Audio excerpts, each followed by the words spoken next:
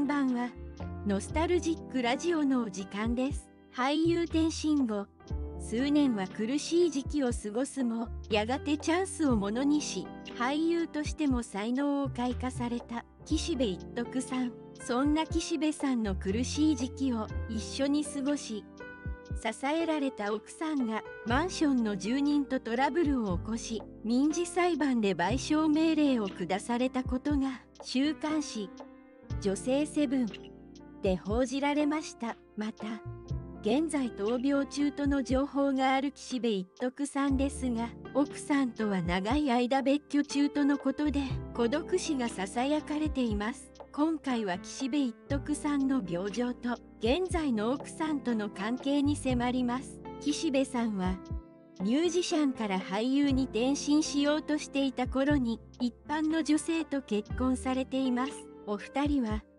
六本木にあるバーのカウンターで知り合ったのをきっかけに交際。結婚されお子さんが3人誕生しているのですが奥さんは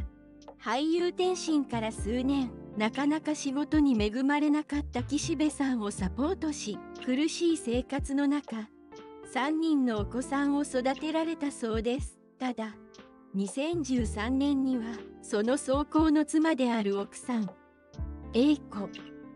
が同じマンションに住む住人とトラブルになっていることが女性セブンで報じられています。女性セブンによると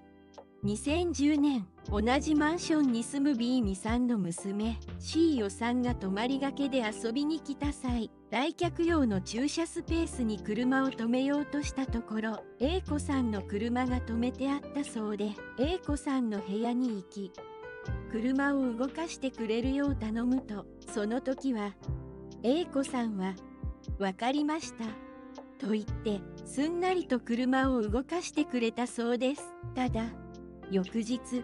C 予算の車にはひっかいたような傷がいくつもつけられていた上「死ね」「バカ野郎」と書かれた紙がいくつも貼られてあったそうで C 予算は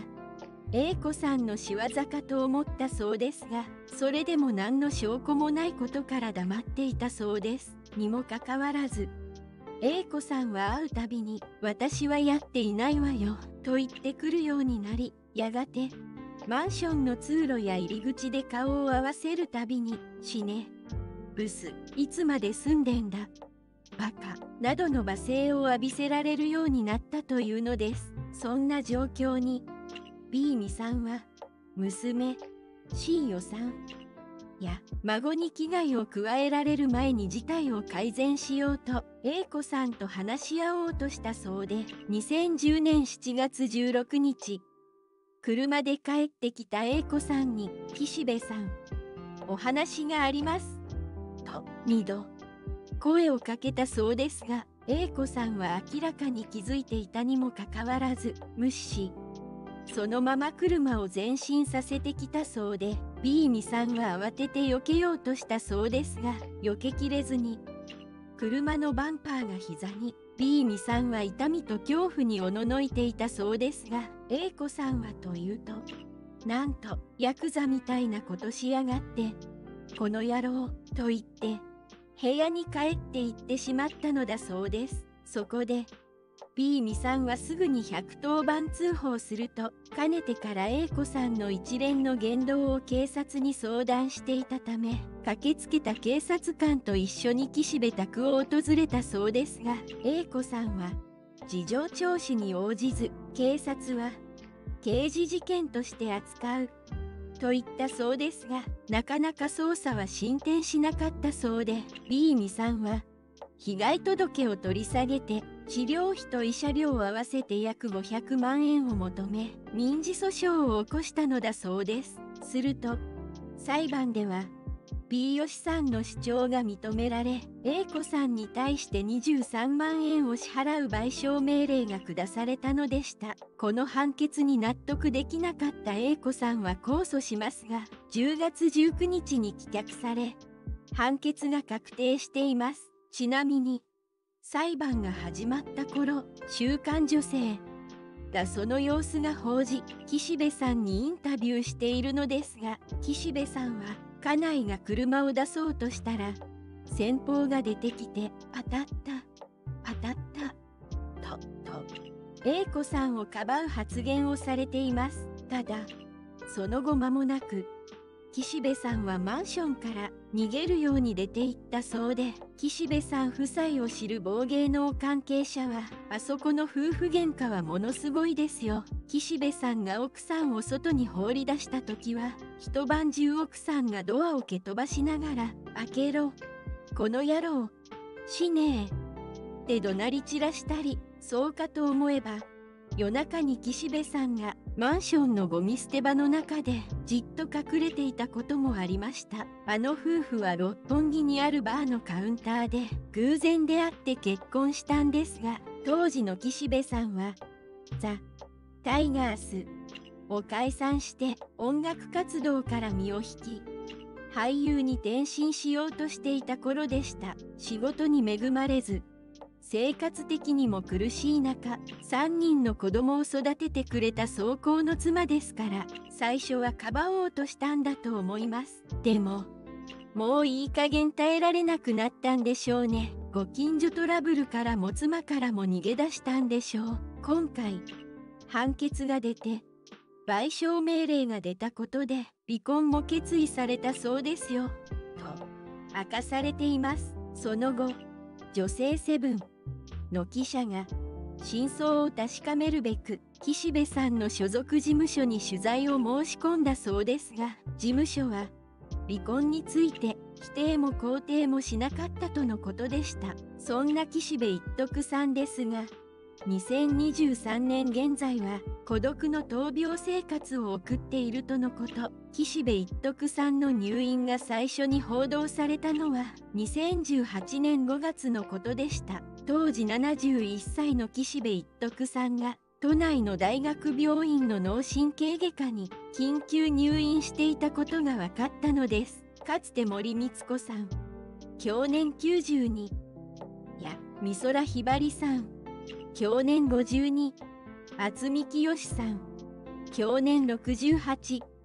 など多くの大物芸能人や政治家が闘病した都内の大学病院。セキュリティの高さで知られ森さんが亡くなった時も密葬後に事務所から公式発表されるまで病状が外部に漏れることはありませんでした。病院関係者はこう明かします。病棟最上階の VIP 病室は特に厳重です。入り口に警備員が立ち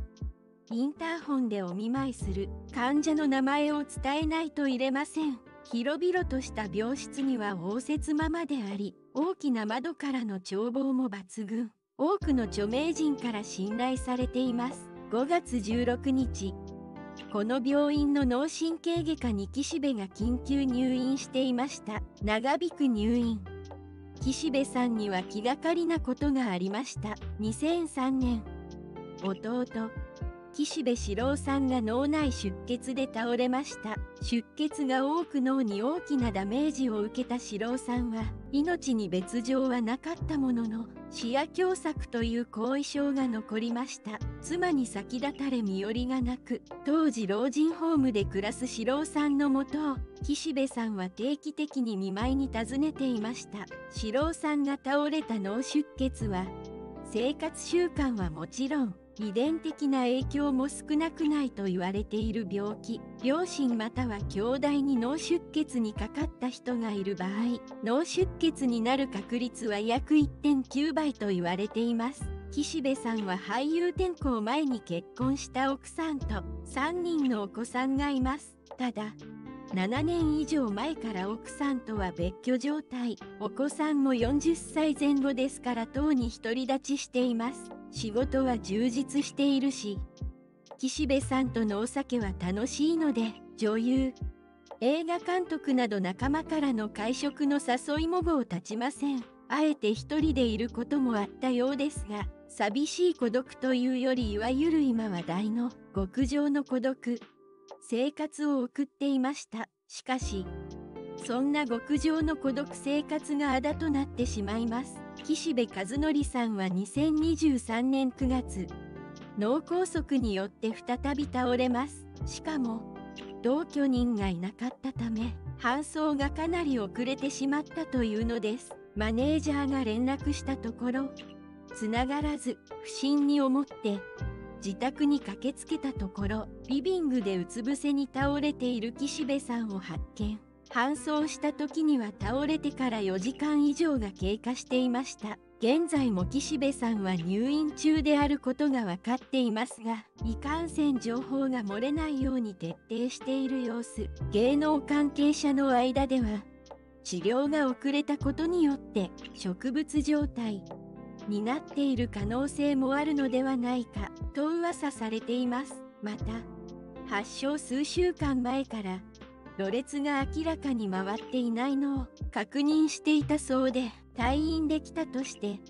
役者への復帰は絶望的な後遺症が残っている可能性も示唆されています。今後の所属事務所の公表を見守りたいところです。最後まで動画をご視聴いただき